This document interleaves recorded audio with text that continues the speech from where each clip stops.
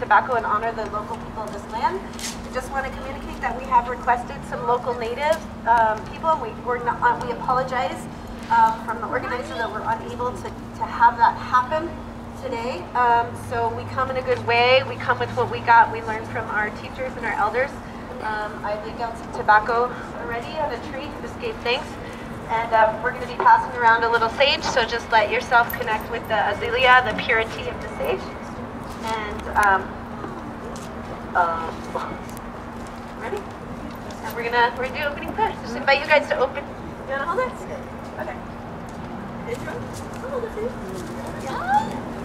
Uh, greetings, welcome. Uh, I did have a chance to uh, speak with uh, our local Amah Mutsun chairman, uh, Valentin Lopez, and uh, he was trying to get here, but it looks like he didn't make it, so um, he, he asked me to go ahead and uh, take his place in speaking, speaking about the people of um, this land right here, and, and they had a beautiful way of life.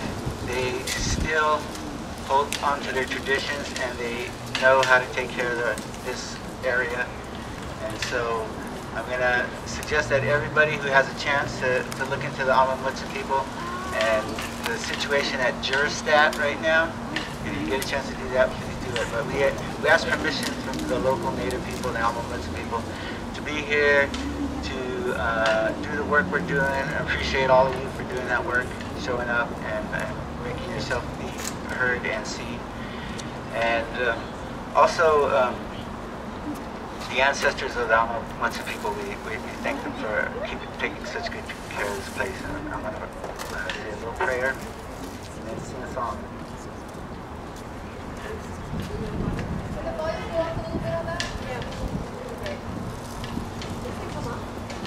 Hold it straight in front of you, not sideways.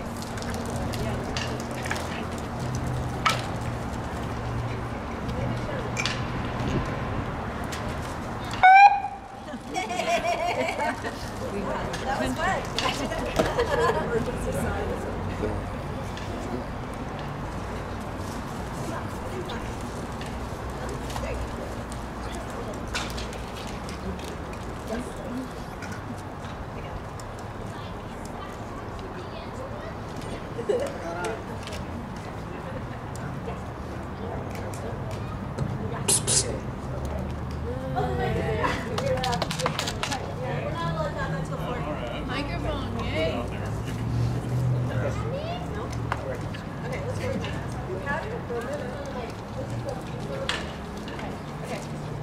We, uh, we got approved to be electric and we're going a little early, so say a little prayer for protection. Wow. Okay. Yes. Um, we're asking you to bless this gathering. We're asking you to bless what our young people are doing right now in as much as taking our generation, our local government, our central government, and our corporations and taking them to task and asking them to take care of the future uh, of our planet.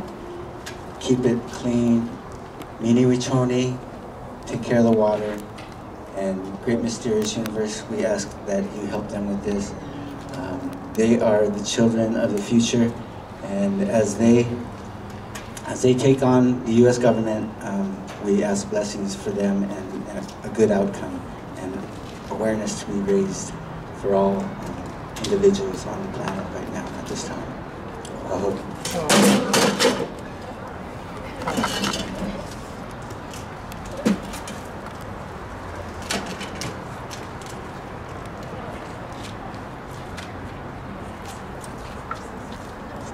This is a song for the healing of the body of Mother Earth and all of our children.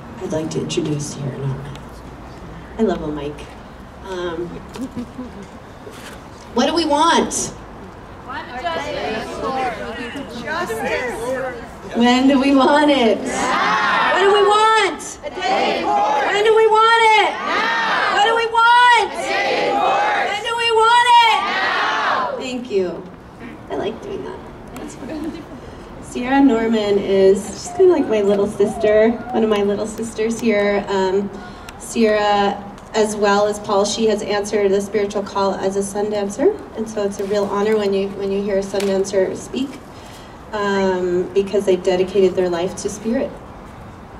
It's like a Native American monk, kind of, but not. It's full surrender. So we're going to keep the volume down. So do you want to do this without a mic? Is that okay? Sierra is a student at Cabrillo, an activist and a spiritual, a young youth spiritual leader. She is 21. She is your neighbor. She's a Santa Cruz resident and soul sister. So please give a big woot for Sierra Norman. Thank you.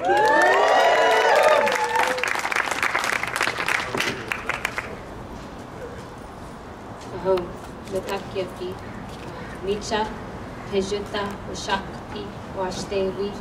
beautiful coyote medicine star woman, uh, Wopila Tunkashira, uh, Pidama Miniwichoni, uh, Wopila Wambli, Jaja Zizi Itansha, uh, Wopila Hehaka Owitansha, um, Wopila Santa Cruz Oyate, Santa Cruz Nation, thank you for all of your smiling faces coming here to support the seventh generation.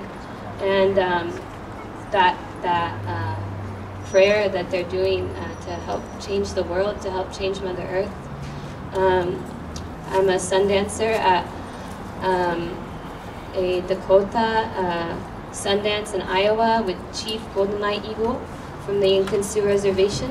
Um, I want to say a big thank you to Chief Elkman, um, who is here right now, and um, you know he wants to remind you all that you're all Earth guardians, and we have to tap into our DNA and remember our sacred responsibilities. To respect our own body is to respect our foundation, and to honor our femininity and to honor our woman is to honor Mother Earth's heartbeat. So that same heartbeat Mother Earth has, we all have. And um, I'm choosing to sing and pray a Sundance song for those warriors. Um, Journey Zephier, my family, like that. And uh, that song, it says, Wankatanka, Great Spirit, Tunkashila, uh, have pity on me, for, for I want to live. And I think that's the case right now, you know? Our youth, we're very aware we want to live. We want to be able to see Mother Earth radiate her light for the next generations to come. We want to continue to live on this planet because if we continue to destroy her, we won't be able to live here. So we pray uh, in gratitude for her replenishing herself and healing herself every day and um, those warriors. So thank you. I'm going to start singing.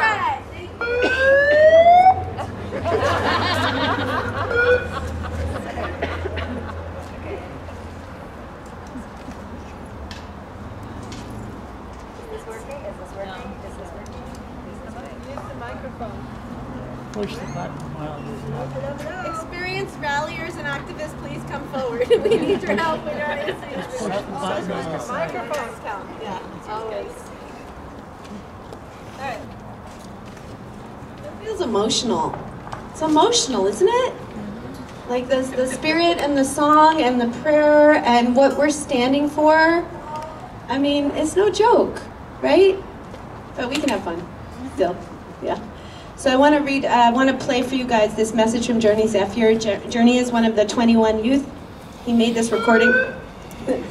he made this uh, recording for us for Santa Cruz because, as you guys heard, his his dad, who's also a chief, uh, used to live here um, before he passed away last July. And um, so Journey lives on Kauai. He's going to tell. Oh, it's about two minutes. So if we could have your attention, and I wouldn't mind you guys kind of coming a little closer if you want. Everyone seems really far away, especially the kids.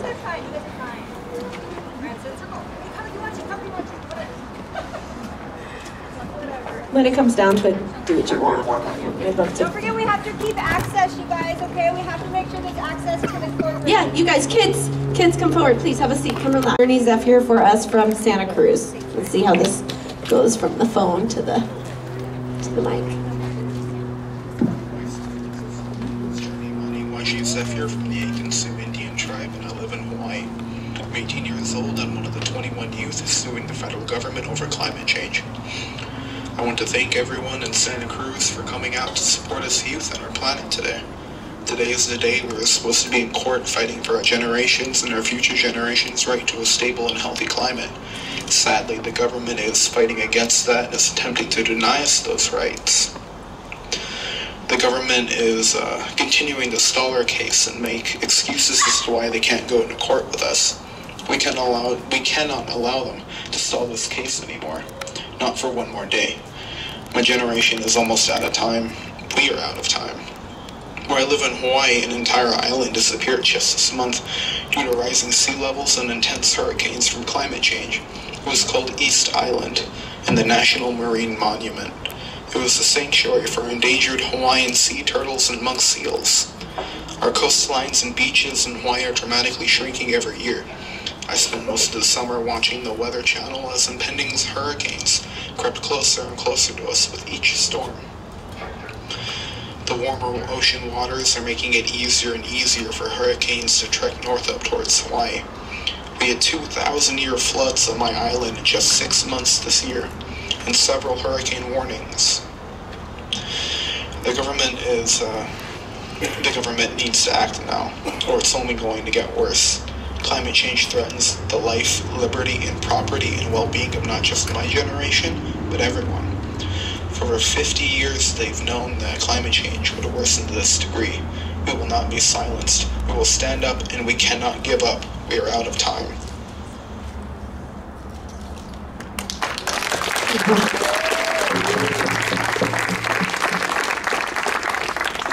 Thank you again, Narayani, for sharing your heart and for having Journey share that with us. That message is so important. I'm going to invite all our youngest people now up onto the steps, including Cassie and Talia and friends. Anybody else that wants to come up? Bodhi's going to start a chant for us. On, Bodhi, right?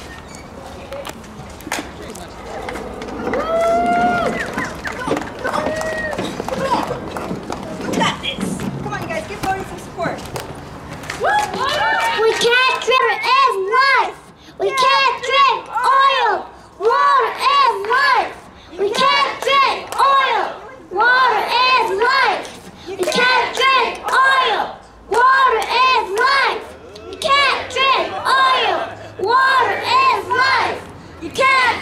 oil. Water is life. You can't drink oil. Water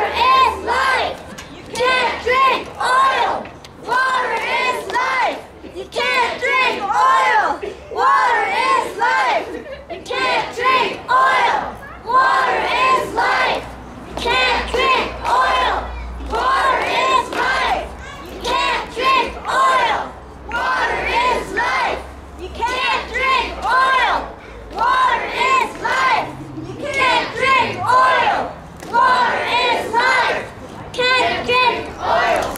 Water is life. Can't drink oil. Water is life. Can't drink oil. Water is life. Can't drink oil. Water is life. You can't drink oil. Water is life. You can't drink oil. Water is life. You can't drink oil. Water is life. You can't drink oil. Water is life. You can't drink oil. Water is life. No? You can't drink oil. Water is life. We can't drink oil. Water is life. We can't drink oil. Water is life. Can't drink oil. Water is life.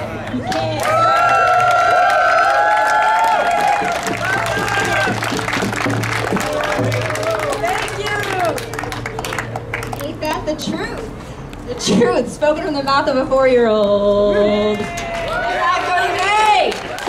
Cassie Mendeville. Up next on the mic is a dear, dear, dear friend of mine, Cassie, 11-year-old from Gateway Elementary School. And she has prepared a few words about why she cares about the planet Earth. Something along those lines. Thank you, Cassie. I care about earth because of all the animals. And the few animals that it affects is polar bears and turtles. When the sun shines down on the polar bears' icebergs, it melts all the ice, which means there won't be as many polar bears. And on turtles, when there's more heat, there won't be as many females. There'll be more males born. So that also affects their population. And we need to care about the earth because then we have more animals and more animals will be able to live. And that's what we want.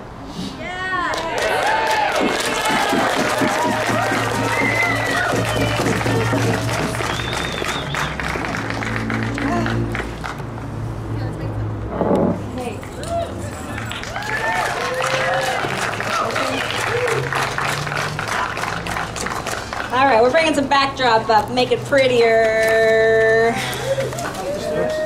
The waves are rising. These were all decorated by local children at various events, Earth Day, uh, Natural Bridges, uh, Bonnet Festival, etc.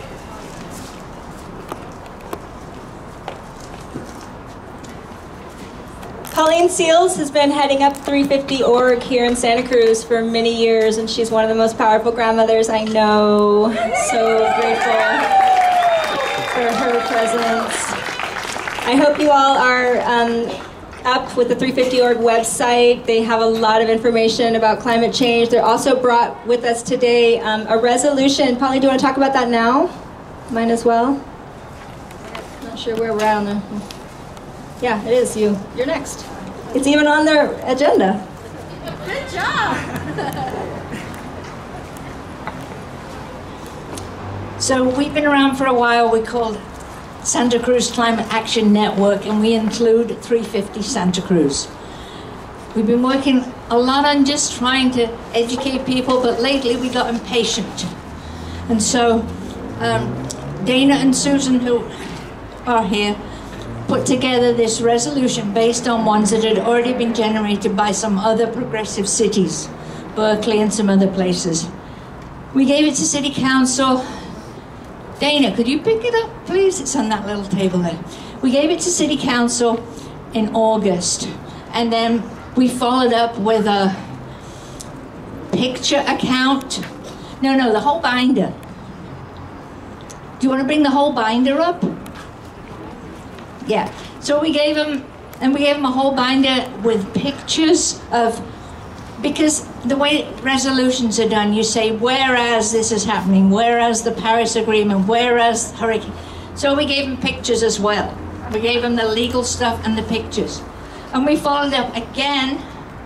So um, I'm not going to try to go through all this right now, but it's here. You're welcome to look at it. And we have all the material on our website we set up an online Facebook petition that people could sign, and today we're collecting paper signatures. So if you think the city should be doing a heck of a lot more than they are doing, please sign this before you leave. We also have little um, surveys for people to fill out who want to get more involved, who maybe up till now, well, gee, I'm too busy, but heck, this is so bad, I want to do something. We've got a little survey form you can fill out that can help us figure out how to get connected because there's so much to do. There's things we are involved in, many things we're involved in already. Not just this city council thing, we also want to get involved with the county and the school boards. We're also looking at food waste, which is a huge source of greenhouse gases, and something we can do something about locally. We work together with the transportation group, the campaign for sensible transportation, and um, there's a lot of other things we'd like to do, but we're spread a little thin. So if people want to set up a tree planting activity or So, my favorite project lately has been one called Keep It Cool. We've gone around to the local businesses in, in Santa Cruz. Right. So, okay, there. So, uh, my favorite project has been uh, Keep It Cool. We've been going around to the different businesses in Santa Cruz and talking to the owners and asking them if they could keep their doors closed while they're running heat or air conditioning. New concept, right? so the idea is some of them will say, well, you know, we'll do it if our neighbors will do it, kind of a thing. So we're trying to get, get the ball rolling on that. If you see a Keep It Cool sticker um, in one of your local shops, tell them thank you and give them their bus- your, your business if you can. And if you would like to help us recruit others, please let us know. We'd love to have you.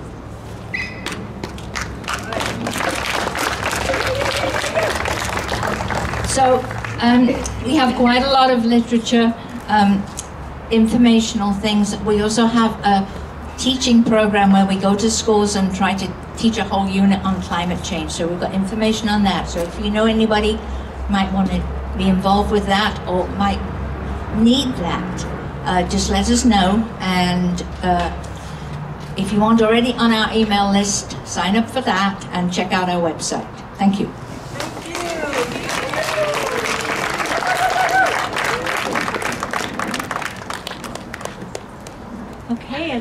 Introduce another youth speaker, 10-year-old Nova. Um, her and her mom are community leaders. I'm really grateful for their presence. And you're at what school again? Elementary school. So thank you so much, Nova.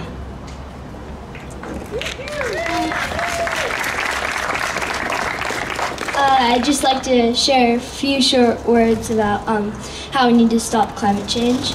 So I'm just going to jump right in. Climate change is a big part of our world right now, and if we don't do, um, if we don't try to defeat it, imagine what our future will be like. That is why we are here. We're here to stop this chaos that is making our beautiful air filled with ugly fumes. We're here to stop luscious plants from being crushed by oil industries, and we are here to support our future.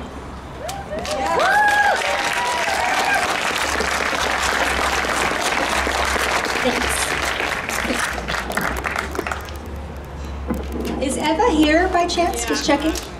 Oh, girlfriend, get over here. I'm like, where is Eva?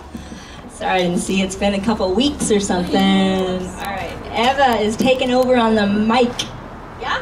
Yeah. Let's hear it for Eva. I'm the official master of ceremonies. Mm-hmm. So, I didn't prepare a single joke, but I'm pretty sure they'll just come naturally. Um, also, I have some notes. Okay, so we're going to introduce Dina whenever you're ready. Because I don't think the official notes are the same as this. Is the These are fine. Okay, so these are. I kind of want them to see Well, you could.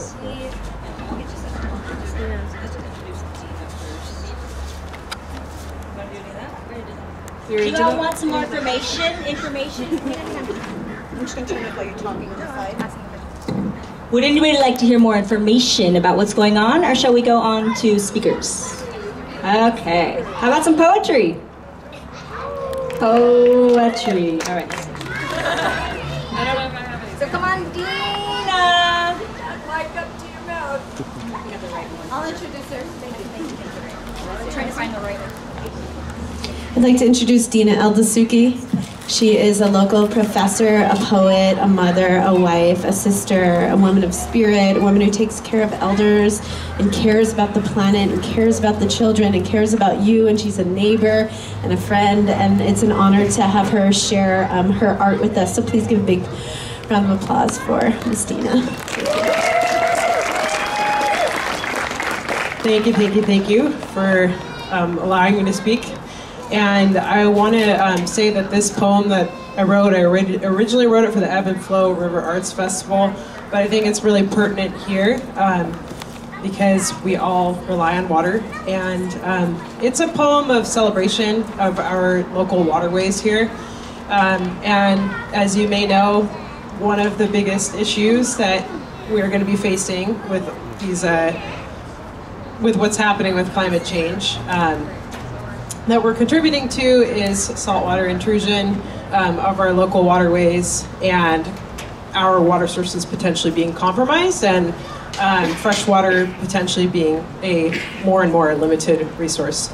So this is a poem in celebration of our river, and I, I don't usually like to say too much before um, I share a poem, but um, I'm just gonna ask that everybody uh,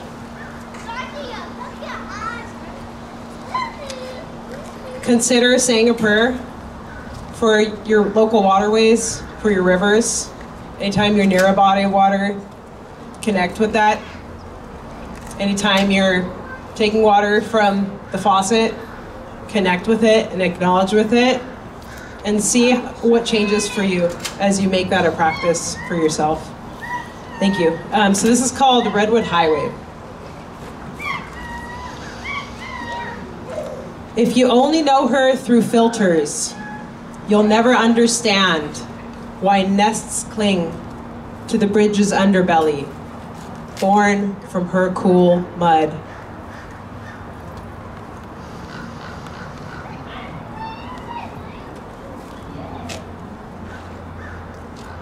If you press your ear to her dry bed, the language of bobcats is as audible as tangled deer tongues, and the white noise of egrets rivals grizzlies thundering over stone, and salmon fry coo and gurgle, a litany of old souls waiting to be born again.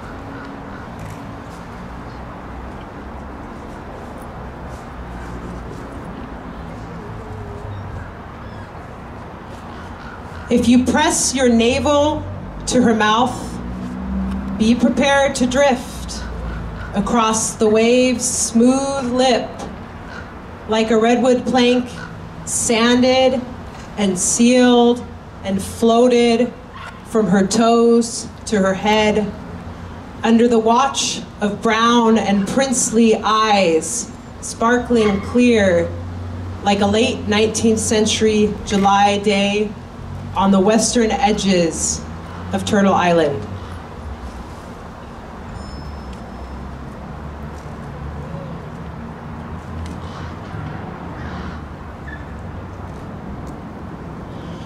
If you soar, wings fanning, a passing cloud over her body, she'll bloom into a bouquet of veins. Some will thirst more than others. Inject them with your own humanity. Dilate them with light. Nurture them with their own divinely ordained purpose. Neglect not even the dankest or most stagnant of corridors.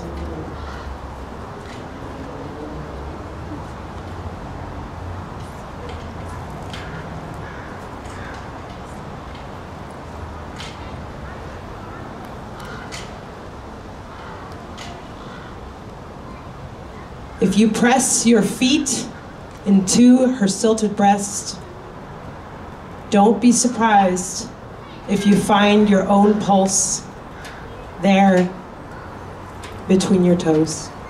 Thank you. Thank you, Tina. Rick Nolthenius, a Cabrillo professor who teaches classes about climate change. Um, if you are a speaker, would you please come to stage left for for any reason, so that you are accessible for live streaming purposes. We're gonna want this, This for our way- backdrop, okay? So that's our, our backdrop. Oh, speakers Yeah, yeah. So Ava, is that okay? So, um, you guys, so we're gonna have a little shift here. So, everyone, to inhale, take a deep breath. You're so beautiful. Please come around closer. We're going to shift this way so that for the live streaming and the film, we're going to actually use this backdrop of our signs. So please come in, come closer, have a cookie. There's some water. Or is that not for everybody? May I have a cookie? We're abundant. We're in Santa Cruz. Great. Okay. Ava, would you just give a, um, would you just take a moment and tell everyone like why you're doing this and why this is important to you? Thank you. So my name is Eva. I was born and raised in Santa Cruz.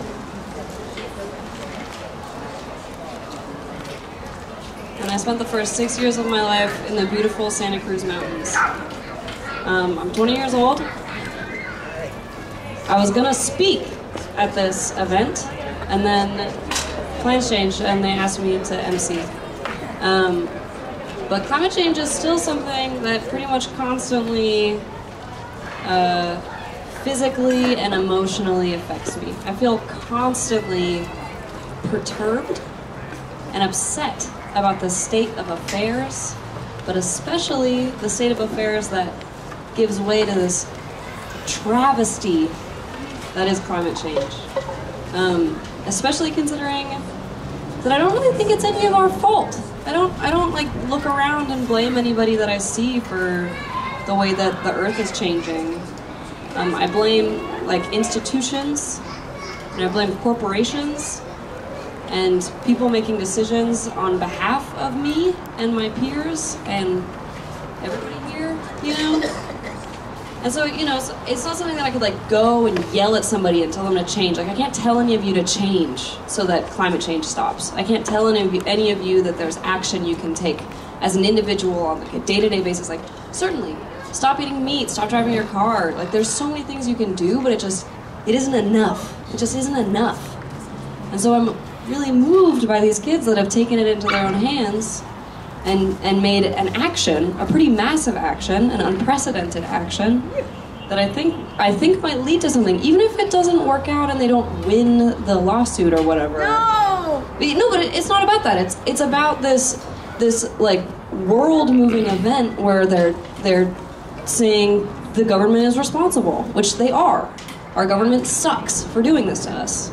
They're they're like really messing up on the day to day. Like it, it's it's insane to me that nobody is calling the government out every day. That we're not like, hey, government, you're messing up. You're messing up. Please stop. Please stop. And these kids are doing it, and they've been doing it.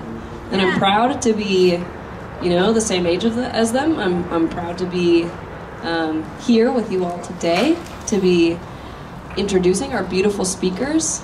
Um, and I, uh, I feel honored to be here. So thank you all. My name is Eva, and we'll be speaking again. This is Rick.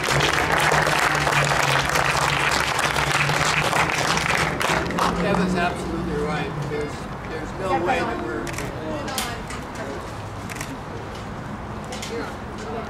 You hear me? Yeah. Yeah, Eva's absolutely right. Um, I, I do not go around finger wagging at people about their personal carbon carbon footprints because really it's not going to make any difference. You should do those things because they feel good internally, but they're not going to change the world. To change the world, you have to do what these kids are doing. We're going to have to hold our institutions responsible. Uh, I, I struggle with this every single day to wrap my mind around the betrayals that are happening, my generation to these young people and my adorable nieces and nephews and grandnieces and nephews. I, I, I just struggle with it every day. Um, it's become my passion to try and educate people on climate. Uh, I have a course called Astro 7. It's a little surprising, it's in the astronomy department, but frankly my research and my interest in my education now is very much focused on, on climate change and, uh, and less so on astronomy than it used to be.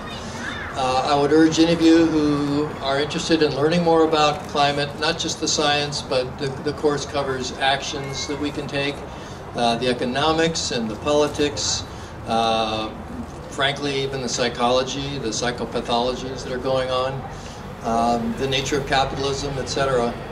And it's a really, really difficult problem. I, I don't know how we're going to solve it, frankly, because it seems to get right down to human nature. our, our desire, our compulsion genetically given to us to grow. Civilization itself is actually an institution we made to help us to grow. And that was all fine when we were just a small part of the world. But the world is finite and we have reached those limits and gone beyond them. And now we have to go back. We have to go back. And nobody really wants to look at that except maybe you find people here.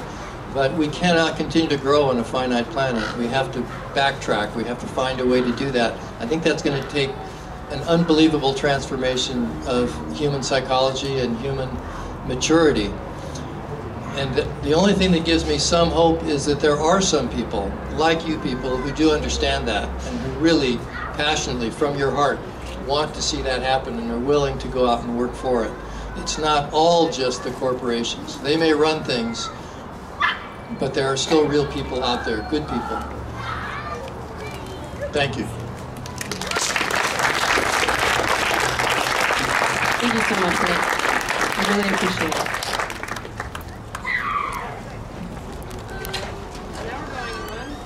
We're moving on. To the youths. Um, we're going to have our first student speaker, Camille Gamboa. That's you.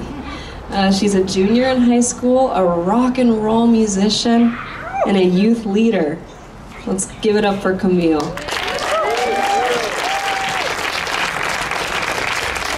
So, I mean, we're all here for the same reason. We all want the same thing. I think it's gone too far. The government just keeps messing up and and we we need to make change. And we're so for example, the um, coral reefs. The coral reefs are just being completely decimated. We're polluting them and just tearing up their foundations. And some studies show that within very short amount of time, the coral reefs could be completely extinct at the rate we're going, and this could this could kill like millions of species. So we really we need to take action, and this is I mean that's what we're doing. We're taking action, and I think that's really important. And and I mean yeah, I just I just want to thank everyone who's here because this is just it's so devastating what's happening and and what people are doing and, and a lot of people just they don't understand they don't care they ignore it and i mean we need to speak up we this i feel like this is kind of our responsibility to to make it make it so everyone hears us we need to be heard um, so yeah thank you Thank you, Camille. I hear you. Next, we're going to have another student speaker, Quentin Freeman. Is that you? Amazing. Uh, Quentin is a senior. You're 16 years old and you're a senior? Wow. 16 year old senior at PCS, Pacific, Santa Cruz Pacific Collegiate School. Um, she wants to be an engineer, an architect, or an architect. Welcome, Quentin.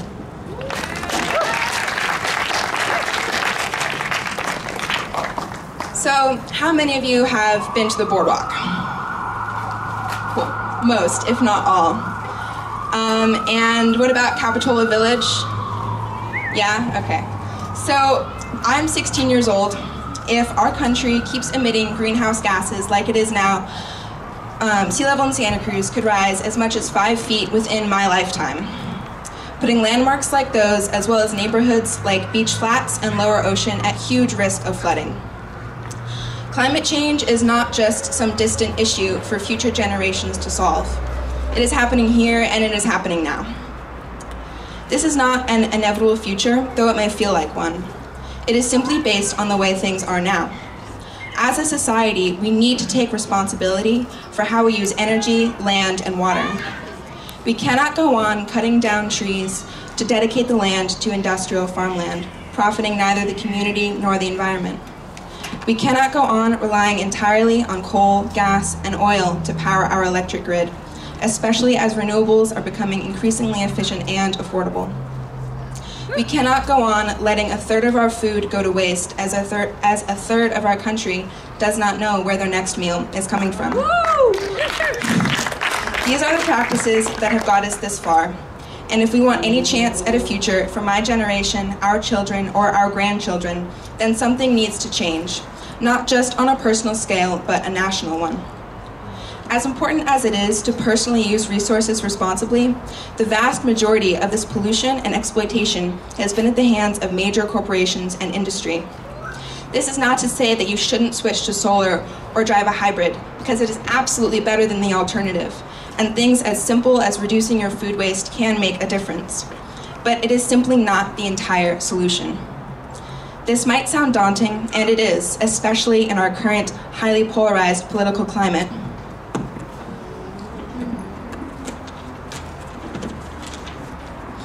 But we need to tackle climate change from a wider perspective, to pull bigger levers and address the bigger problems. And it's exactly this that the 21 youths from Alaska to Louisiana meeting in, meeting in Eugene are trying to do right now in their federal lawsuit against the government.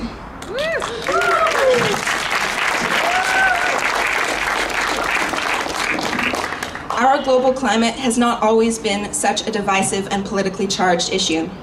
Ten years ago, Republicans were calling out the fossil fuel industry for causing climate change and putting forward policies to protect the environment.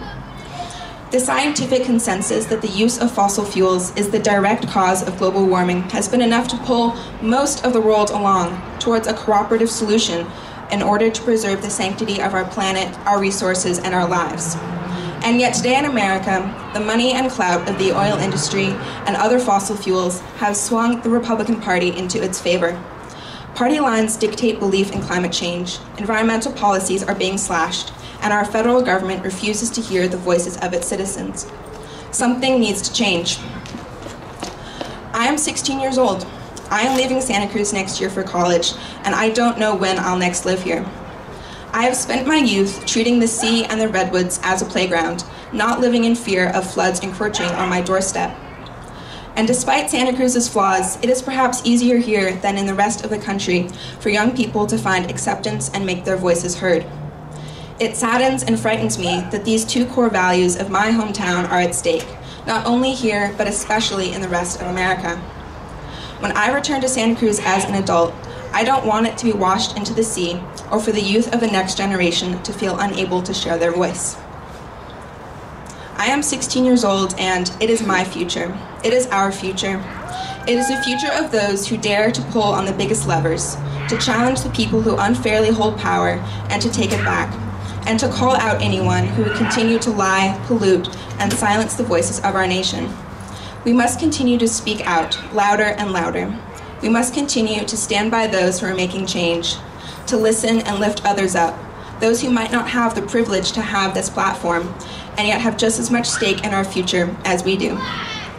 We must continue to follow the lead of Youth. Gov, to take big action and not simply hope that our Priuses will solve the issue. Those who are old enough to vote need to vote next week and hold our government responsible for the future of our country.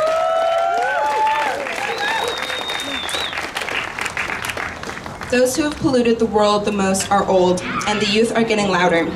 It is our future, and we deserve a say in it. Thank you.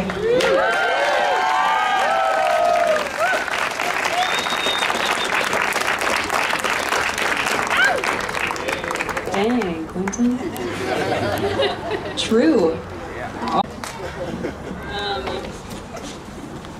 yeah. I'm I'm dumbstruck. That was beautiful, really.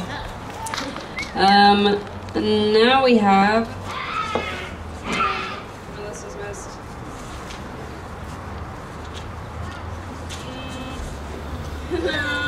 oh, here we go. Now we have Zander Balthasar. A senior, you go to Santa Cruz High. Yep. Uh, Santa Cruz High senior, 17 years old, and he wants to be an astronaut. I guess I want to be an astronaut. um, So yeah, I'm Zander. Um, I guess the reason I'm here today is because I feel like I have to be. Um, you know, I you know talking on stage really isn't my favorite, but you know, I, the way I see it, it needs to happen now. Um, you know, um, you know, I'm here because in you know in under 50 years, like you know, like Quentin said, the boardwalk will be underwater. Um, you know, the Amazon rainforest could be completely gone, and like all these, you know, tons of crazy things. You hear about it every day. Um, I'm here because um, because I feel like you know I need to make a change because clearly the government doesn't feel the same way. Um, um, I'm here for you know just not for me and my generation, but for you know our kids and their kids and you know generations to come. Um, you know, it, it seems like um, like the government's turned their back on us. You know, they're they're getting like thousands and millions of dollars every year from um, from the oil industry, and you know they don't have to. You know, it's the money that the these companies are giving them. Um, you know, they don't have to. They don't have to change the decisions they make in the court and in politics, but they will if they want to keep their pockets full. And you know, that's just what's happened. Um, and that's not right. So I, I guess, uh, you know, this it needs to change. You know, it needs it needs to happen, and I can't believe it has yet. I can't believe it's you know, things haven't changed and things haven't gotten better. You know, I mean, global warming is like a widely accepted fact at this point. You know, almost if you go in there, you know, almost all the people in there will agree that global warming is real. It's happening. It's proven, and um, but there's still cars everywhere. Everywhere you go, there's cars. Um, and at an alarming rate. I mean, every person has a car. That's just how people get around. And so, you know, it blows my mind that, you know, people, you know, they're talking the talk, but, you know, they're not walking the walk yet. So I think, you know, it's my responsibility and it's our responsibility to come out here and, um, you know, get people to start walking the walk. And what better place to do that than in the courtroom? Yeah. Thank you. Nice. I think we're gonna have some some some young people. Uh, you want to speak for a moment? Uh, okay. What's your name? It's Richard Todd. Impromptu. Um, I'm 65 years old, and first thing I want to apologize to all the young people here. My generation let you down. I was involved in the resistance movement in the 1960s and in the 1970s, but I got pretty discouraged, like a lot of my generation did. And what we did after George McGovern was so soundly defeated by Richard Nixon, was already very much like Trump, we decided to go shopping instead. And so whatever revolution we occurred, a counter-revolution was put in place. And we're living with that counter-revolution right now. What's required, I think, it's great that we're all here, but look, turn around and see all the people out there that are not here. And what's needed is for those people out there to understand that climate change is the biggest threat to their shopping excursions they could ever know. And it has, it's not just rising sea level, and that's what they think it is. It's more than that. When climate falls apart, the entire social structure of this planet falls apart at the same time, meaning that the tribalism that you see in Afghanistan is something you're going to see right here in Santa Cruz. So it's going to be, what do they call it, the dystopian future? That's what we're looking at, and that's how important this message is. So what we need to do is we need those people out there to understand how important this is. And in order to do that, we have to create a tipping point in attitude about climate change, meaning that the entire country, starting with the United States, needs to understand the importance of it. Not just us here on the liberal left. We're not enough. And it, we don't really have time for us to grow in the incremental ways that we are. We need a massive change in attitude that's got to occur over a very short period of time.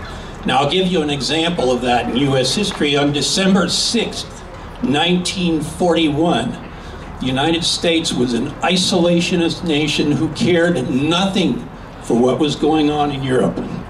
And at that point, the fascists had taken all of Europe, and now on December 7th, 1941, Pearl Harbor was bombed by the fascists from Japan. And on December 12th, 1941, Hitler declared war on the United States. Now, the attitude of the country, of the people in this country, from December 6th to December 13th, let's say, was massive. They got behind what needed to be done in a huge way. In other words, a tipping point was created. That is what we need. I- I got a schedule. I- I'm sorry. You make you, you continue with your I think, I think that what I'm saying is very important, and I know that the bureaucracy doesn't want me to proceed, but you need to think about this, and you need to talk about it with other people, and I'm working on a project right now about tipping point.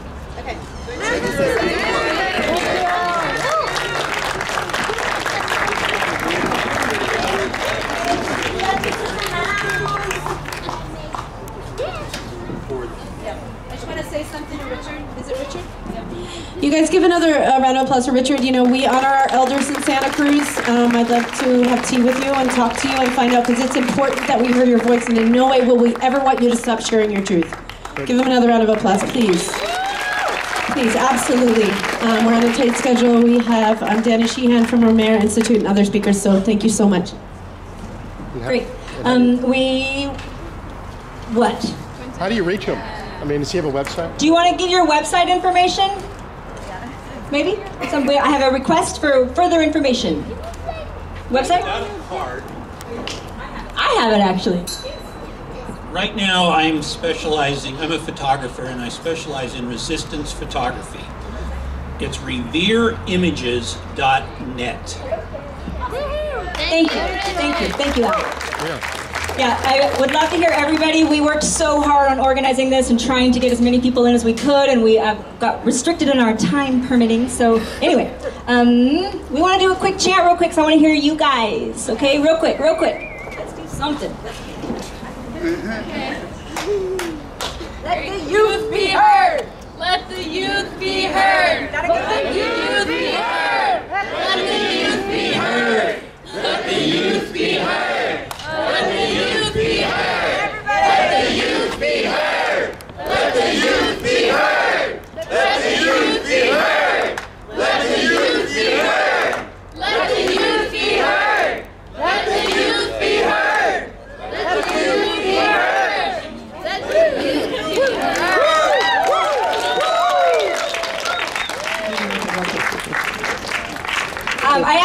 to do that one because I really want to bring it back to the to the lawsuit and what's going on with that. Again, um, right now the Supreme Court has temporarily stayed the case again, and these children have been trying to get in court for a long time. We have Daniel Daniel Sheehan, a constitutional lawyer who's been, oh my goodness, through the trenches for years, and he's going to share a little more about that. But before we have Daniel come on, I would really, really, really invite everybody to take a group photo, okay? One of my most important reasons for being here is, again, to support the 21 kids, and I want them to see how many of us care. So if we can all come behind this banner, we're going to take one photo, and then we'll move on with the rest of our speakers Daniel Sheehan, Catherine Shea, and Drew Glover.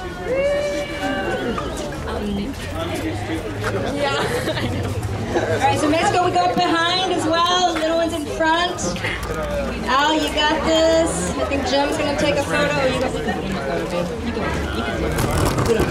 There you are.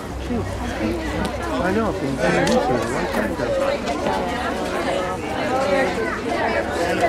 All the children.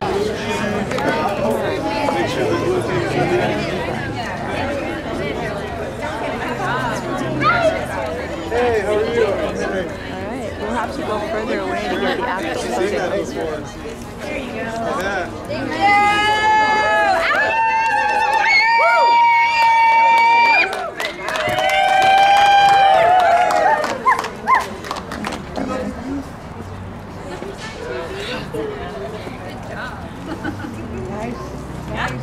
Are we official? Well, you're. We have to get further away. Okay, we're gonna use a live, live picture, so. Santa Cruz demands a climate recovery plan. Santa Cruz demands a climate recovery plan. Santa Cruz demands a climate recovery plan.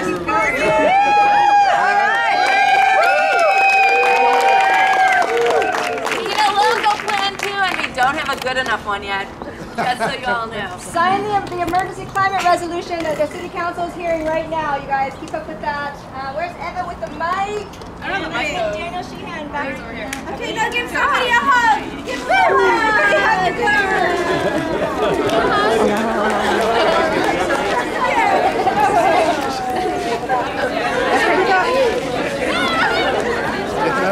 You need a wide angle lens to get. I was using a pano.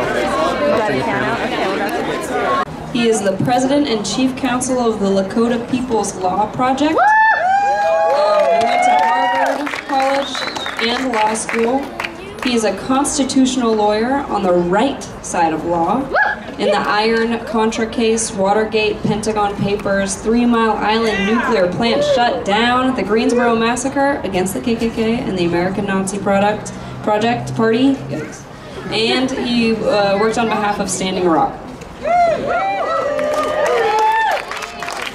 I've, I've known and seen Danny Sheehan throughout my life. He is a wonderful man, and I'm honored to introduce y'all to him.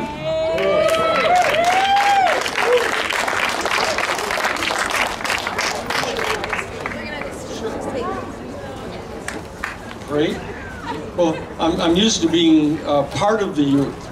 Uh, when when we when we sort of came on the scene uh, back in the '60s, uh, everybody kept telling us that we were too young to be listened to then, uh, and it turns out that it stays that way uh, all the way through. So uh, don't don't feel that you're being discriminated against as the young, because it's not your youth that they're afraid of; it's what you're saying, and it's what you're saying that they try to disregard all the time. And so what you have to do is you have to build alliances. It's the thing that we came to know uh, over all the years. You have to build alliances with the young people, with the the middle-aged people, with the older people, all the people that are still coming on into the stream, the young, the really young kids. You know, this is this is a coalition that you have to build. When we did the Karen Silkwood case, which uh, ended up stopping the construction of all private nuclear power plants in the United States, that, that, uh, that Sarah Nelson, our executive director over here, uh, was the was the National Labor Secretary for the National Organization for Women, uh, and I was the legal counsel for the United States Jesuit Order. And so, if we can put together an alliance between the National Organization for Women and the Jesuit Order, we ought to be able to get an alliance uh, among everybody here. Because, because it's in everybody's interest to stop global climate change, except for the petroleum companies and the fossil fuel industry.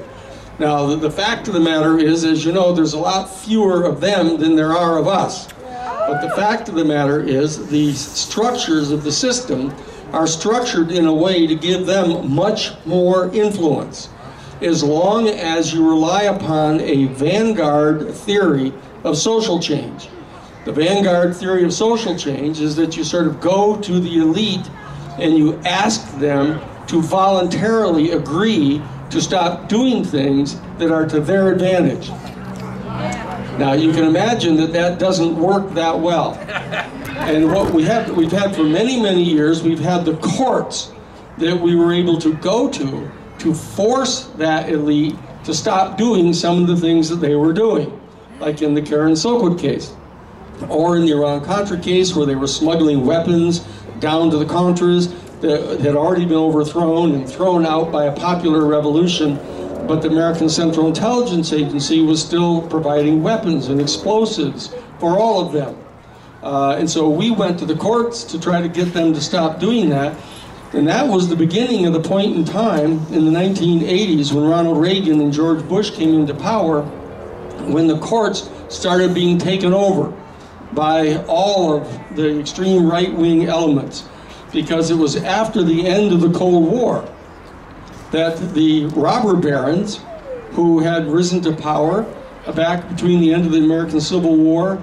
Uh, I know that the Vietnam War probably seems to a lot of you young folks like the Civil War, but but it, but it, it turns out that, that in the aftermath of the American Civil War, the the elite that were in charge of the major uh, businesses in the country developed a new theory of uh, a new business vehicle called the shareholder-owned private corporation. And the corporation started being designated as a person.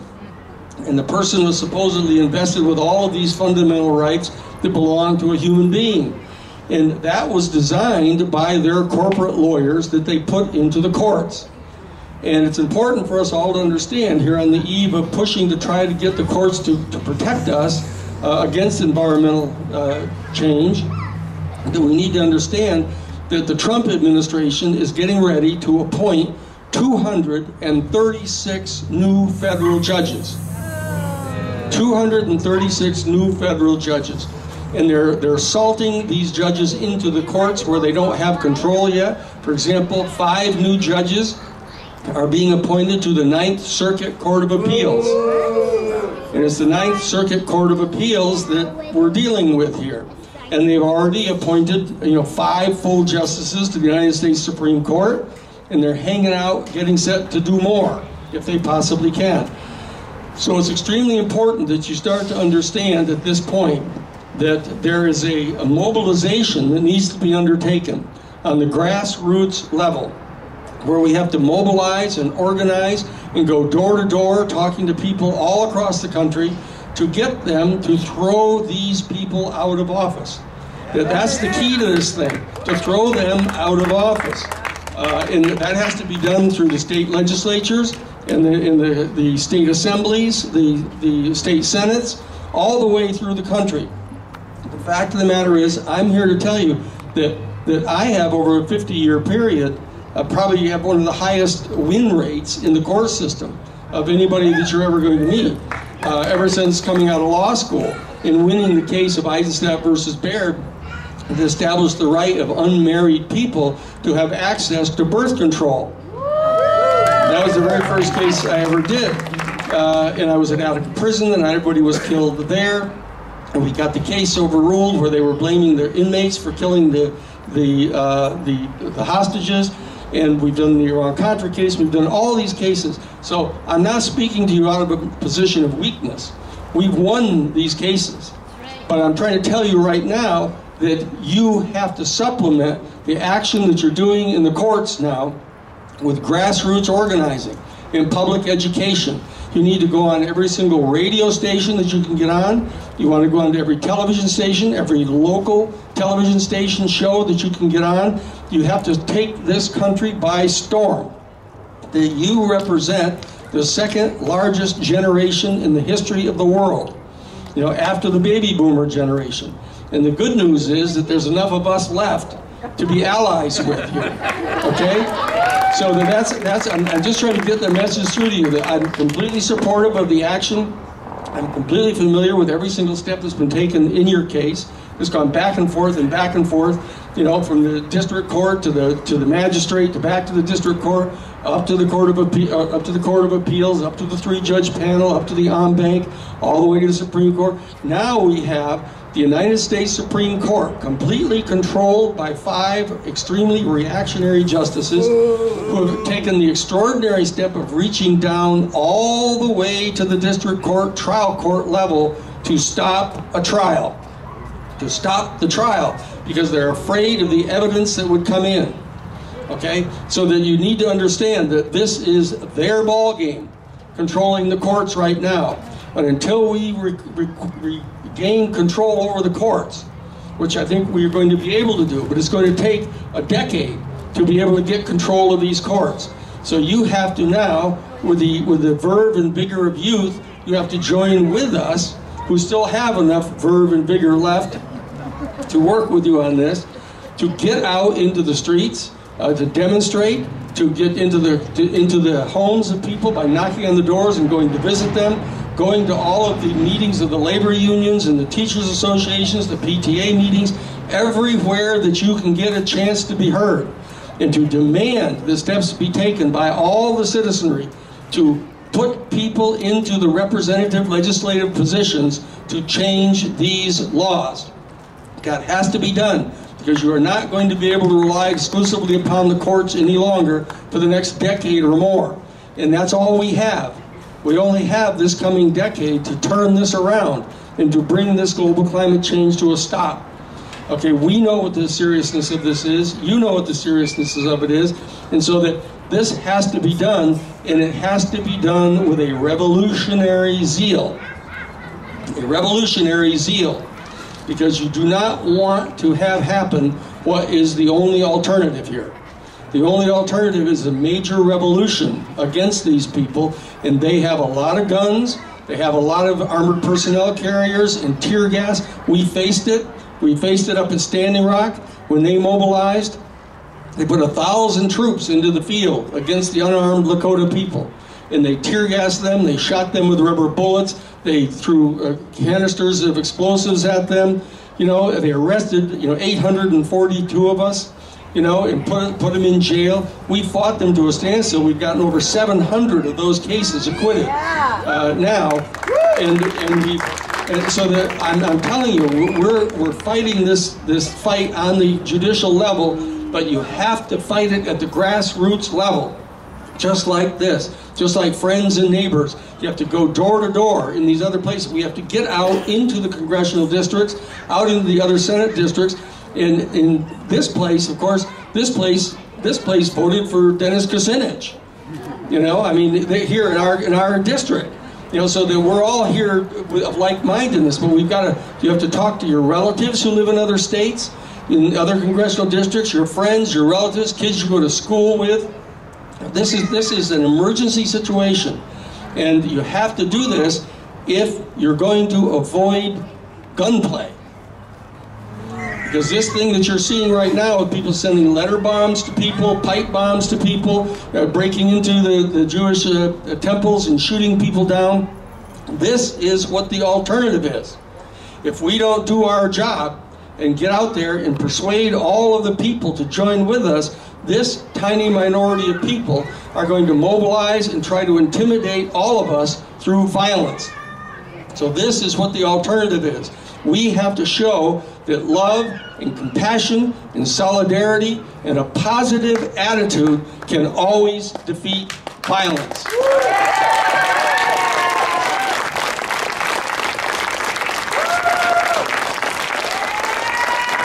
Thank you, Danny.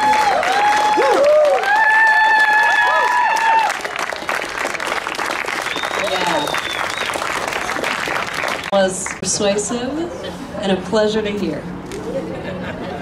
Uh, next, we're going to have another student speaker, Liam Ruff, who is a junior at UC. Oh, before we get into this, actually, uh, uh, there's cookies. There's yummy cookies and drinks. I think water. It's all and good. it's all good. You guys are all welcome to go and put your little fingers in the cookie jar. 'cause It'll be good. It's really yummy. Okay. And there's a donation jar also that is near the cookie jar. So if you found the cookies, you might also be able to find your fingers putting things into the, no- the, the uh, donation box. Okay, Liam Ruff is a junior at UCSC. He represents fossil-free UCSC. Woo! Yeah Woo Hi, y'all. Thank you so much for being here. It's awesome to see a lot of people coming out, standing in solidarity with the youth suing the federal government. So, as mentioned, I represent Fossil Free UC. That's a UC University of California wide campaign run by students to pressure the UC to divest their holdings from their holdings from fossil fuels. So, if you don't know this already, the University of California invests $2.6 billion in fossil fuel corporations. Yeah, this is the University of California, a place where climate science is coming out of, a forward-thinking institution, but the institution itself is profiting off of industries that are directly contributing to climate change, fracturing communities, and only really benefiting a small fraction of the human population. It, the entire system of these corporations and climate change is fueled by climate injustice.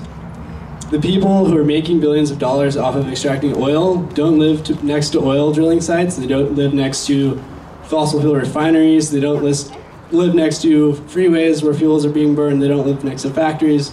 They don't live next to power generation plants.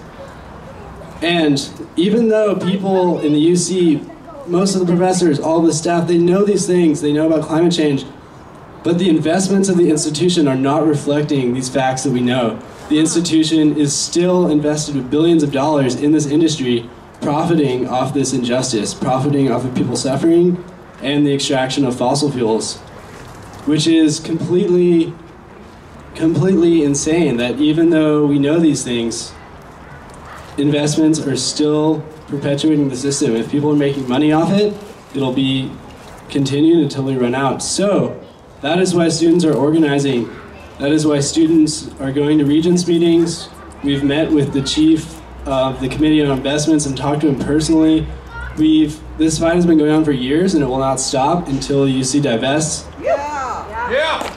If thank you. If you are called to support us, there's a Regents meeting on November 14th. Students will be there participating in direct comment as well as having an action outside. As a community member of California and the world, I would suggest that if you can, write a letter to the Regents or email them saying you do not support the UC as an institution investing in fossil fuels. So, if that's something you can do, and you have social media, please find Fossil Free UC and Fossil Free UC Santa Cruz on Facebook and Instagram, or talk to me here right now afterwards, and I can get your email and put you on our email list. So thank you all so much for organizing this. This is amazing. Thanks for letting me speak. Thank you, Liam. I want to ask him real quick. Liam and I met at the Practical Activism uh, event up at UCSC just last weekend. He was with many amazing activated youth, and one of the conversations we had was about the public banking question. So I wanted to just mention that really quickly. Chris Krohn is present with us. Thank you so much for being here. He was a big part also in helping Santa Cruz City divest. So Santa Cruz City did divest, and they have nowhere to reinvest. It's a real problem. So just really keep that in your back pocket that the public banking option is viable, and we all need to keep our ear on that. Okay? All right. Thank you. Drew Glover will be speaking next. Uh, he went to Harbor High and Cabrillo College. Um, he is the executive director of the project Pollinate to uh, get the city to stop using glyphosate and Roundup for weed abatement. A staff member at the Research, uh, Resource Center for Nonviolence, a candidate for city council, and a friend, an activist, and a neighbor. Welcome. Thank you. Whoa. Hey. So, thank you everyone. I'll make this really quick. Um, I really appreciate all of the organizing and effort that went into this event and all of you to come out on this evening to stand in support with the 21 youth that are standing up against the federal government, which is daunting and intense, but uh, honorable at the same time. I do want to take a second. Zander, was it? Yeah. I also want to be an astronaut. So, just put it out there. Uh, I mean, I don't know. It'd be hard not to want to be an astronaut. Um, so also, I'm the president of the United Nations Association, and it, that's the first time I've ever heard Project Pollinate uh, referred to as the Project Pollinate. But it's a great opportunity um, for us to address city issues around pesticide uh, reform and getting glyphosate out of our systems. But also, uh, as the president of the United Nations Association, it's important to bring up the idea of refugees. So, who here has ever heard of an environmental refugee? Yes. Now, did you know that they don't have the same rights as normal refugees, quote unquote normal refugees? Which is really intense. And it's if you want to go and look at the UN um, specification and definition definition of environmental refugees, it's kind of disconcerting, especially with the understanding that climate change uh, will impact so many different people and will create such a wave of environmental refugees that are going to need support from neighboring countries and the wealthy people of the world. Um, another thing with that too is the Samoan Islands, for example. Did you know all know that they're under threat from climate change? It's pretty intense. The Prime Minister of Samoa has called climate change an existential threat for all of our Pacific family, and said that any world leader who denied climate change uh, should be taken to a mental hospital. Yeah. So, hey, uh, it's pretty intense with regards to the weather patterns that they're changing, impacting places like Puerto Rico and the rebuild effort that needs to go in there. And it's the voice of the youth that are going to make a serious impact on what's going on, which is why it's so important that this is happening, uh, going on. And I love the fact that the movement shows the fierce urgency of now quote from Dr. King. I work at the Resource Center for Nonviolence, and there's so much that can be learned from nonviolent resistance. I really love Danny for bringing up the concept of nonviolent resistance and how much power it has over the violent alternative. And it's important that in our work through this process of resistance against the federal government that we stand strong in the corner of nonviolence because as soon as we become violent, it gives them a tool to work against us. Call us all kinds of crazy names and destroy things. Thank you. Yes, absolutely. Um, so another thing that Dr. King said is we need a radical revolution of values. And so that's not just on the federal level, but it's also at home uh, here, uh, working in a grassroots capacity, engaging with people about what's going on. And just with that as well, I'm also the chair of the Santa Cruz County Poor People's Campaign, which is run through the Resource Center for Nonviolence. And it is an organization or an organizing group that brings people together across race, uh, partisan and religious lines to address issues of environmental devastation as well as the war economy and systemic um, uh, racism. So everything is interconnected. It's something that we really want to emphasize, uh, and the importance of working together uh, and across kind of different lines.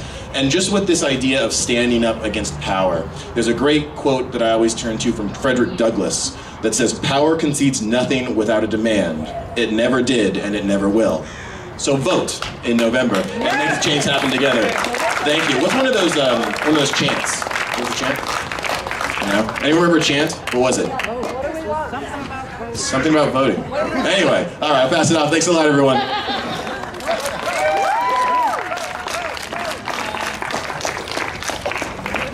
Thank you, Drew.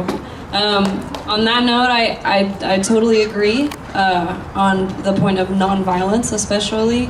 Um, and I, I would make, like to make a subsequent point about not only moving with nonviolent action, but with compassionate action and with kindness in our hearts.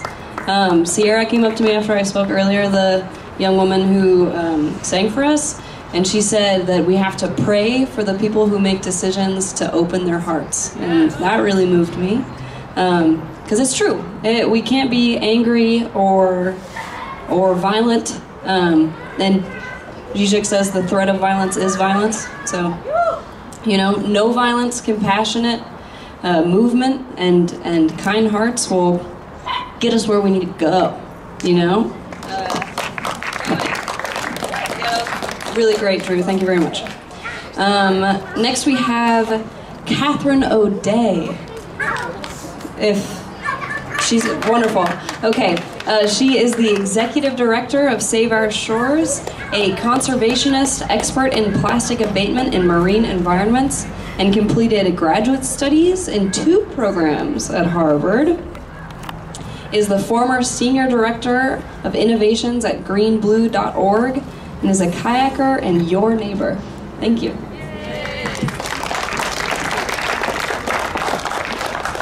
Thank you all for being here and also for having me here. I feel humbled as someone who's been on this planet for far more decades than the youth who are uh, really standing up and doing something brave and compassionate and much needed. I feel like my friend Richard here, I call him my friend, we've never met before, I feel the same need to apologize that my generation has failed uh, in making a difference in stopping climate change before it became a real crisis. And we are currently in a real crisis. But back to Save, Shore, Save Our Shores for a minute and grassroots, and that's our story, right? So 40 years ago, Save Our Shores was formed by eight individuals who saw a threat of oil drilling actually off our coast. Fossil fuel, let's go get fossil fuel out of our ocean, right? Hmm. And this community said no, and this community stood up and fought for that and su- succeeded in stopping that threat. 40 years later, we're fighting that fight again. We have, I always have such a hard time talking about the administration in DC today.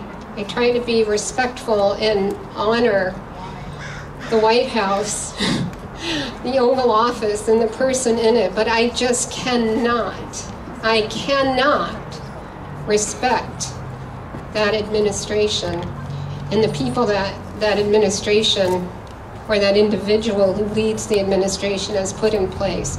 He's gone out of his way to find people who have absolutely no business being in government and no business being in the positions that they are. We had a head of the EPA who had sued the EPA 14 times. We have an energy secretary who I don't think can spell energy. And it goes on. But in any case, Save Our Shores mission today is based on three primary pillars.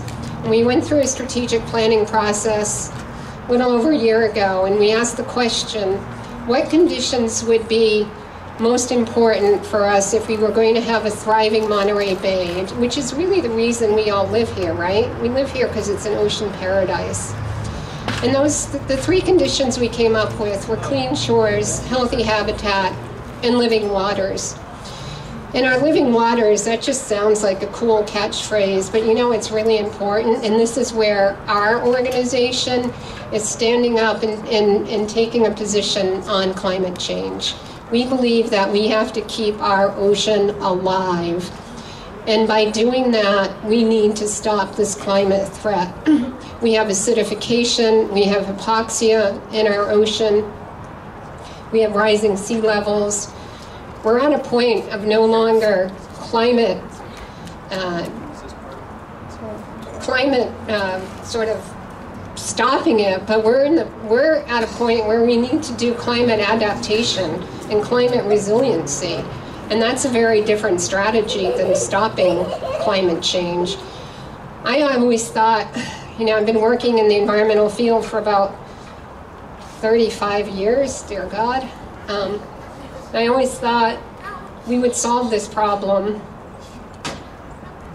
and we would be able to move forward and kids from my generation, you know, my people who were parents in my generation. I have no kids, I have no grandchildren, and I still feel the need to protect this planet. It's not only about the kids and the youth having a, a quality of life in the future, but it's about the planet having a life. It's about our ocean having life. And if we don't have a healthy ocean, we do not have life. So under our Living Waters pillar, we have created a climate change info hub that you can find on our website at simply www.saveourshores.org.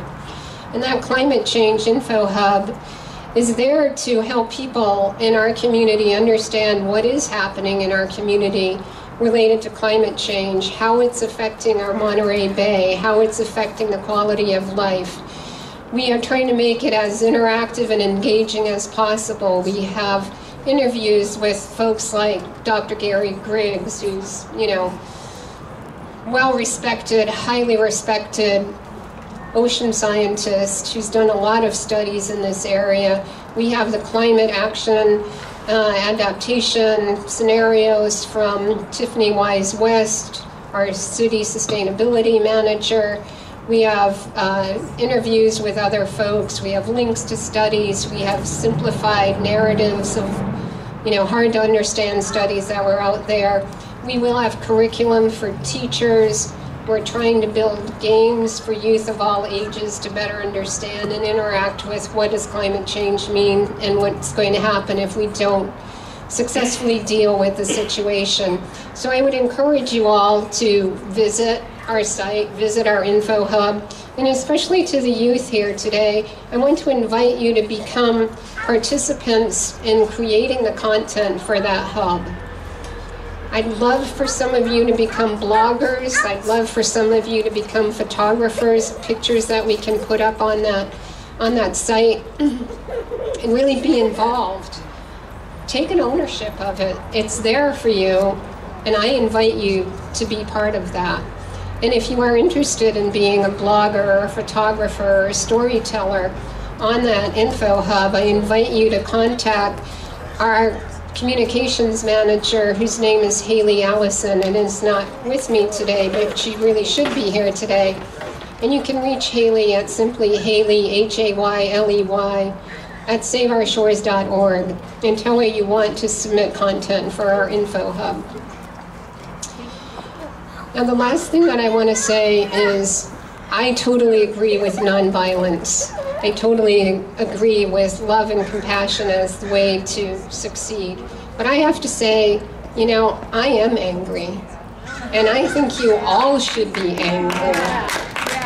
But I think we need to turn that anger into positive grassroots action like we're all doing here today.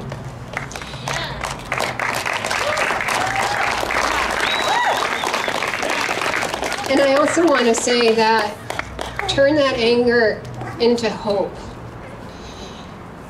You know, over the years, 35 years of working on the environment, I've had highs and lows, and I've had times of depression, and I've had times where I've even thought, well, fortunately, I'm going to be dead before it's really all that bad. But a lot of you are not. And I'm going to do everything I can to make sure you have a quality of life before I do pass on. And that's what I've been trying to do for 35 years with organizations like Save Our Shores. But you all need to carry that torch. And it is just so rewarding for me to stand here today and see that there is a next generation of ocean stewards, of climate stewards, of just environmental stewards and people who love planet Earth. So, on a note of hope, which I hope our anger can all turn us towards hope, I read a book about five, maybe six years ago. It's called The Great Disruption. It's written by a fellow named Paul Gilding, and he used to be the head of Greenpeace in Europe. And then he became, of all things, a corporate consultant, working with companies to help them figure out how to address issues like this. And so he wrote a book in about 2012 called, as I said, The Great Disruption. And it goes through the scenario of all these things that we're going to see happen and all the changes we're going to have to expect. But at the end of each chapter, he has a refrain We're not stupid, we're just slow.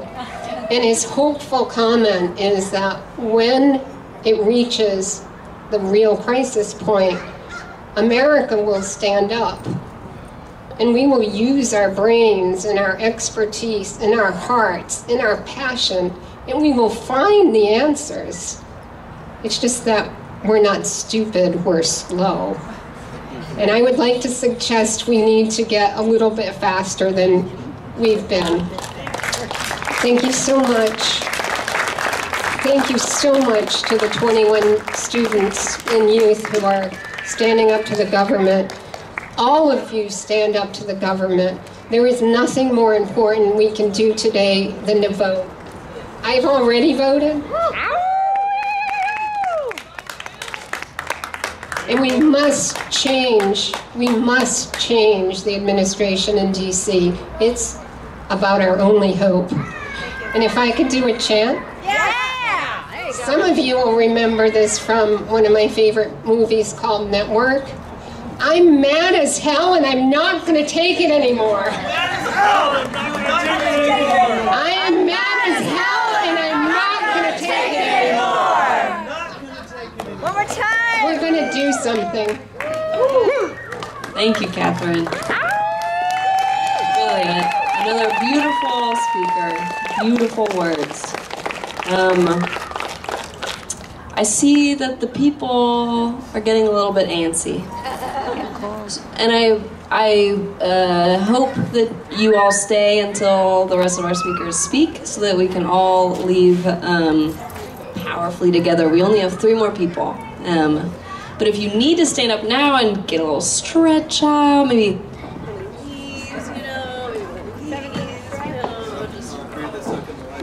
yeah, whatever whatever you can do to keep your your body ready to listen.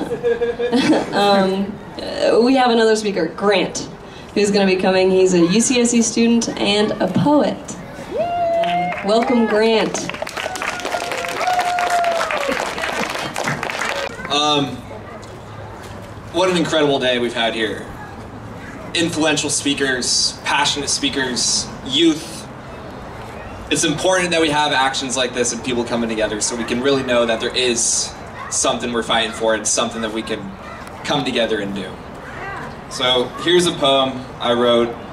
Um, I read it uh, at the EPA listening session, and the main EPA listener scoffed at me when I said I was going to read a poem. But no revolutionary movement is complete without the poetry.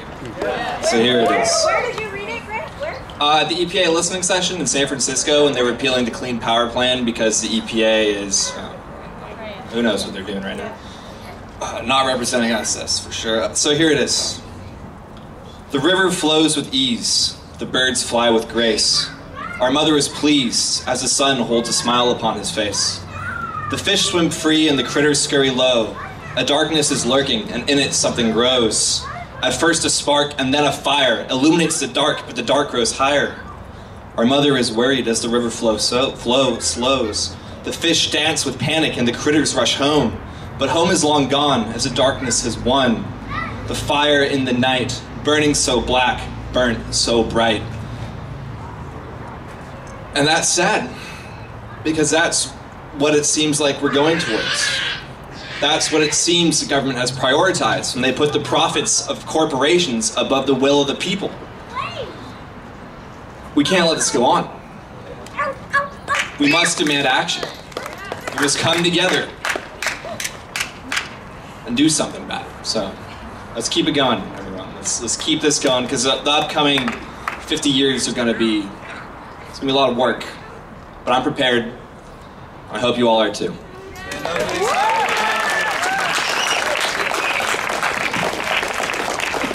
Thank you, Grant.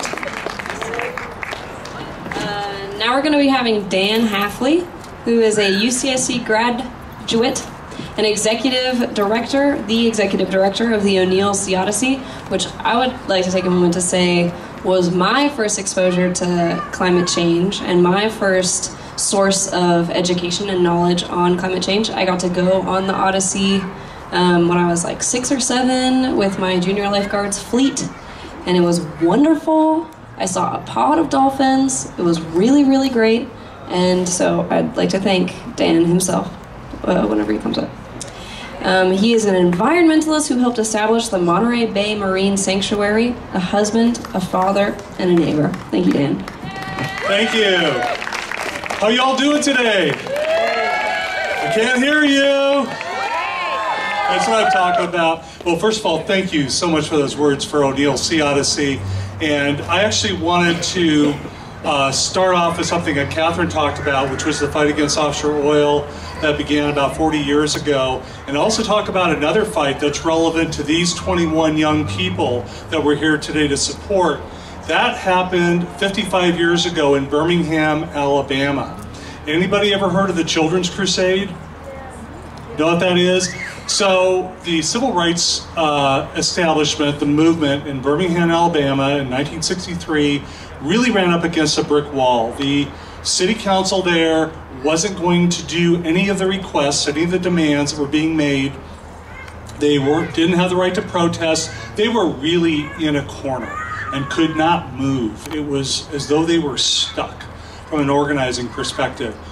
So what happened is the students began to organize, but they did it in a way that was under the radar. They spoke to each other in between classes, they talked on the phone, they didn't have meetings, but they organized. I mean, today we, we they would be texting with each other. They organized together, basically in secret, and then bam, the day came when they had this beautiful action. The city had no idea what hit them, and the news media took notice. And it wasn't the thing that turned the tide necessarily, but it certainly broke a logjam. So that's exactly what these 21 young people are doing. And that's exactly what you all are doing and rallies across the country supporting them. And I'd like to also thank the organizers of the rally today for what you're doing. Big round of applause for them. But it's really going to take this type of direct action because we're running out of time. And, and Katherine referred to ocean acidification. That's real. It's not just sea level rise. We're going to be losing wetlands along the coast. We're going to be losing critical habitat, hypoxia, which is lack of oxygen. These things are going to really transform, if we don't do something, transform the ocean environment in ways that we really can't anticipate. The ocean is such a complex system and we have these very deadly tools right now at our disposal. We need to do something very soon. It's up to the young people because, as has been mentioned before, we have not succeeded so far. There's a lot to be done. It can be done. Look what those young people did in Birmingham. And we have taken on big challenges before. There was the issue of the, uh, the hole in the ozone layer. That was resolved. I mean, we can take on these issues. It's not impossible to do. It's up to the next generation. Thank you for being here, and let's go!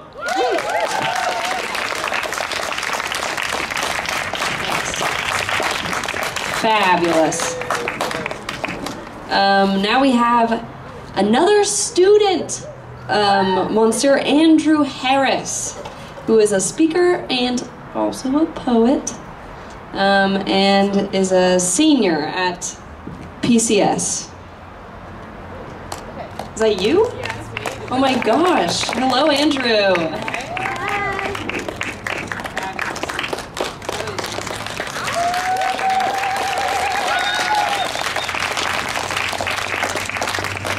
Hi, everyone. Hi. So, my name's Har- Andrew Harris, and I'm here because I'm terrified of what the future has in store for us at this rate. The global climate is changing so rapidly that I doubt that we as humans will be able to live here for much longer, and I really doubt that any life at all will be able to live here for much longer. Since the Industrial Revolution, we've been spewing carbon and other gases into the air. We've been dumping chemicals and toxic waste into our water, and right about now, nature is starting to treat us the way we've been treating it all these years. Burning fossil fuels increase almost every poli- I mean, I'm sorry. They increase almost every problem that politicians love to yell about. Immigration, for example. As temperatures rise, massive swaths of land are left uninhabitable. So the people who live there are forced to leave their homes and seek asylum somewhere else.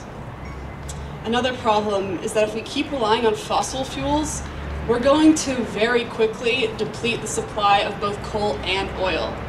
That means when those things run out and that massive industry has nothing left to offer, there's going to be an economic crash and all of us are going to feel it.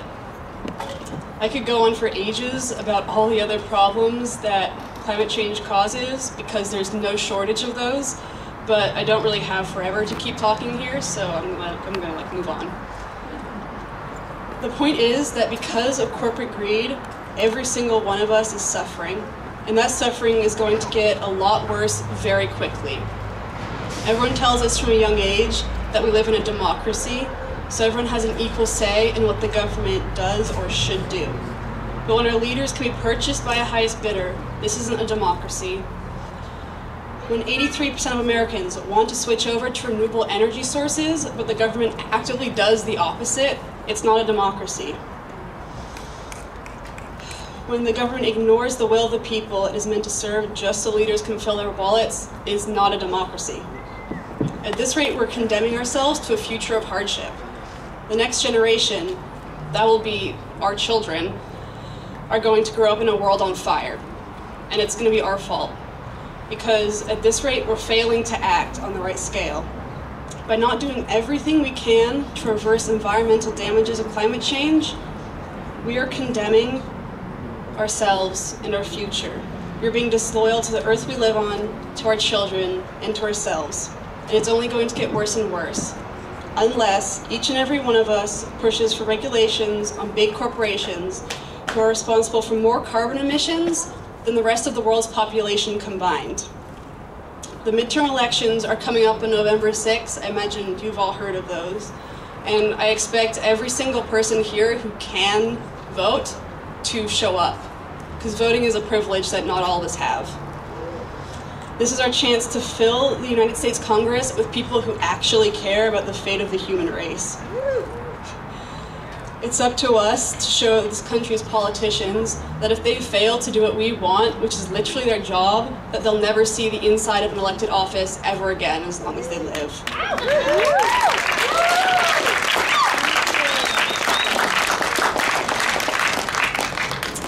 Our fate is in our hands, so we need to act to make sure we actually have a future.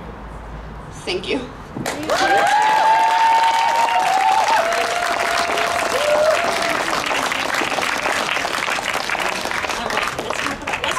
Little bit of local action just to make sure that we're all on the same page with things that we can do here together. Um, oh, sorry, sorry.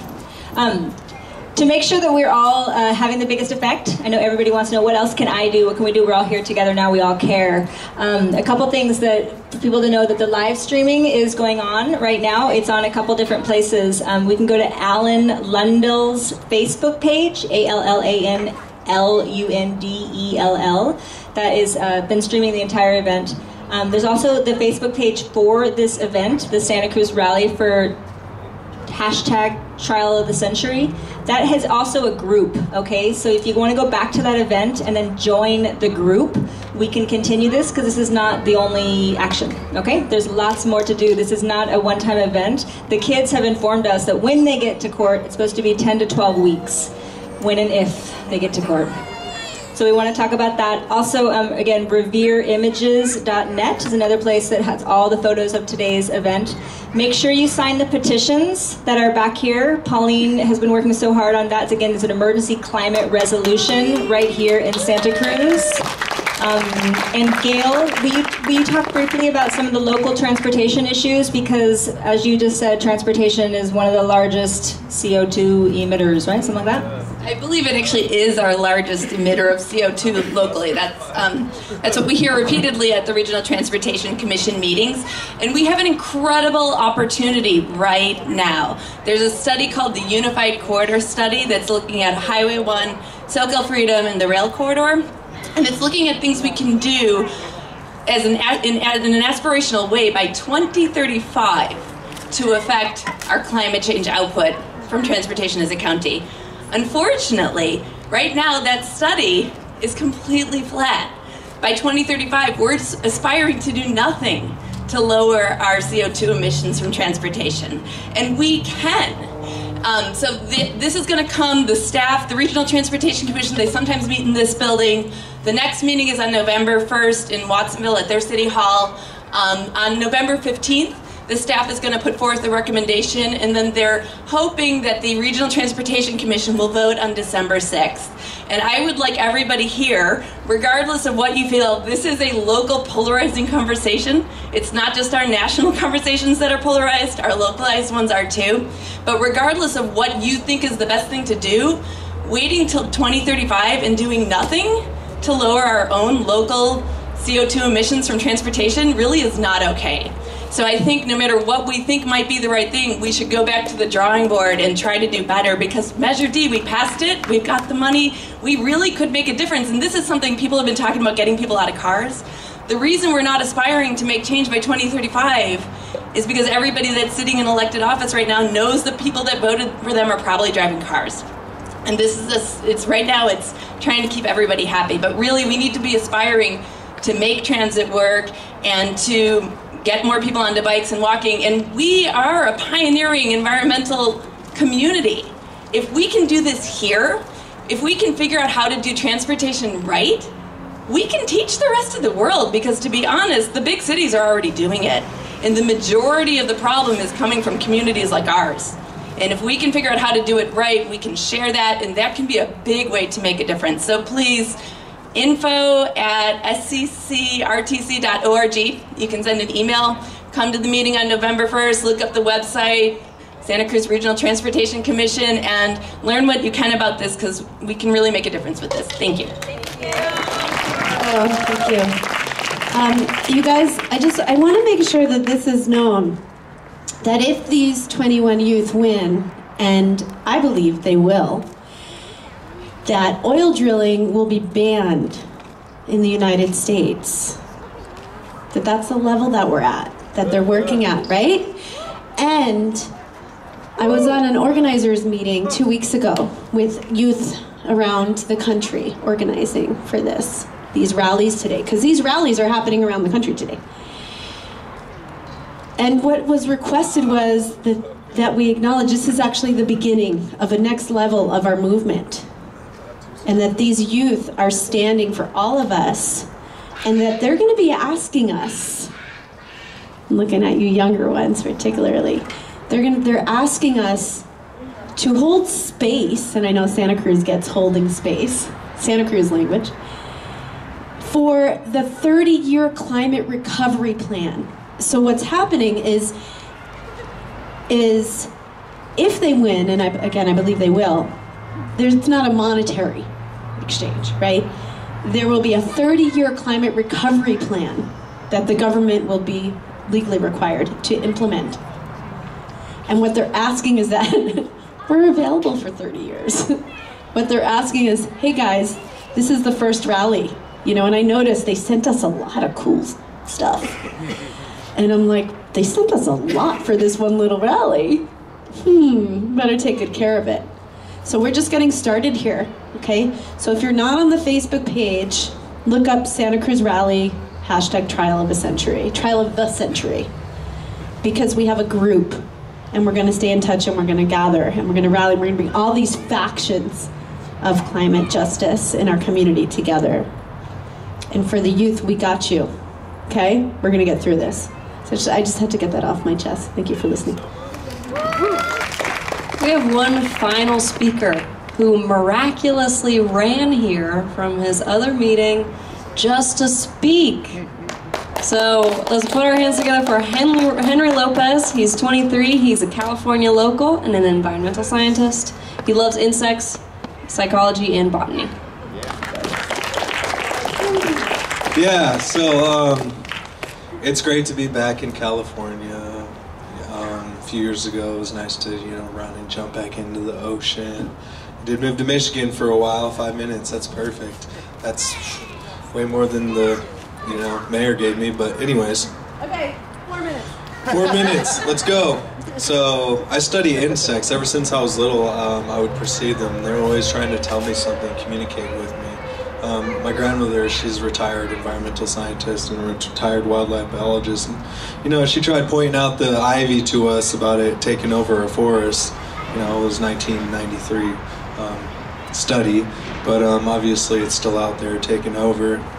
And the insects from Japan that actually feed off the ivy are actually smart enough now from us nuclear bombing them that they can control our main species with their antennae and then they eat them. And sadly to say um, you know cross pesticidal um, mutations and of course the you know chemical spills here. I, I got a an environmental uh, request form right here because there was this toxic spill right across the street from my church.